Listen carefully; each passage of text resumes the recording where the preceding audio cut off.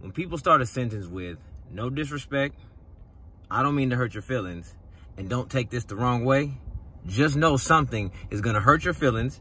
You're to feel disrespected.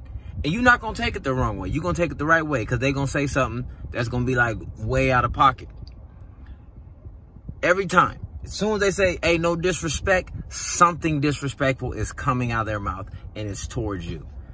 I hope this don't hurt your feelings. It's absolutely 100% about to hurt all your feelings. And don't take this the wrong way. You're going to want to punch them at the end of that statement. So when people start with some, some of those, because there's more out there. As soon as I hear one of those, I just walk off. And if I can't walk off, I'll take my hand, yeah, right to the throat.